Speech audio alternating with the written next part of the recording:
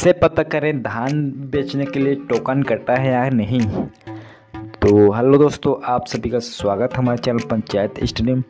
तो दोस्तों, आज के वीडियो हम बात करने वाले हैं कि धान खरीदी केंद्र में धान बेचने के लिए टोकन कटा है नहीं, आप कैसे चेक कर सकते हैं? तो दोस्तों, चलिए वीडियो में आगे बढ़ते हैं। धान बेचने के लिए टोकन कटा है नहीं, यह जानने के लिए आपको गूगल या क्राउम ब्राउज़र में चले जाना है और सिंपल से टाइप करना है सीजी खाद्य। तो सीजी खाद्य लिख करके आपको टाइप कर देना है और यहाँ पर नीचे जाना है और यहाँ पर फ़र्स्ट में आपको इस साइड में जाना है।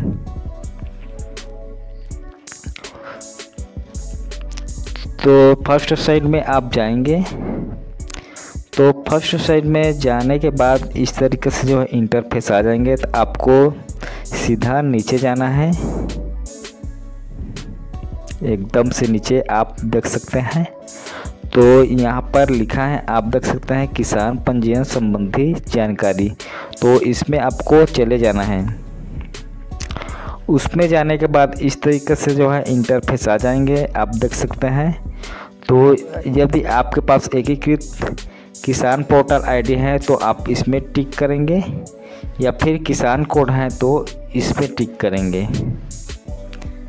तो इसमें टिक करने के बाद आपको इस डिब्बे में अपना किसान कोड डाल लेना है। तो चलिए मैं किसान कोड डाल लेता हूँ।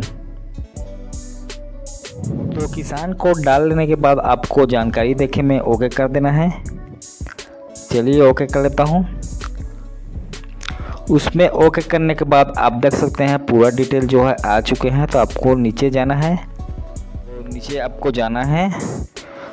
तो सबसे नीचे आने के बाद आप देख सकते हैं किसान के भूमि की जानकारी यहाँ पर दिया गया है, नाम वगैरह जो भी एवं ज़मीन खसफा नंबर भी दिया गया है और कितने ज़मीन का पंजीयन हुआ है, ये भी दिया गया है। तो आप यहाँ पर देख सकते हैं इसका जो है टोकन कटा ही नहीं यहाँ पर लिखा है। तो यहाँ पर आप देख सकते हैं क्या लिखा है। तो चयनित किसान का धान खरीदी हेतु अभी टोकन जारी नहीं किया गया है और चयनित किसान से संबंधित धान नहीं लिया गया है। तो इस किसान का जो है अभी तक टोकन नहीं कटा है। यदि टोकन कट जाएगा तो यहाँ पर चयनित किसान का टोकन कट गया है लिखेंगे और यहाँ पर किस तारीख को कटा है वो भी लिखेंगे। और जो है धान खरीदी हो गया होगा तो यहाँ पर धान खरीदी हो चुका है, ऐसे लिखेंगे और इसमें पैसा आ जाएँगे तो पैसा आ गए हैं, ऐसा लिखाएँगे। तो दोस्तों, वीडियो में फ़िलहाल इतना ही। तो दोस्तों, आशा करते हैं कि आपको यह जानकारी अच्छा लगे होंगे।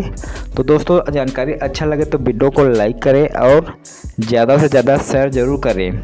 और दोस्तों, यदि आप हमारे चैनल पंचायत स्टेप नए तो सब्सक्राइब करना न भूलें। तो धन्यवाद दोस्तों।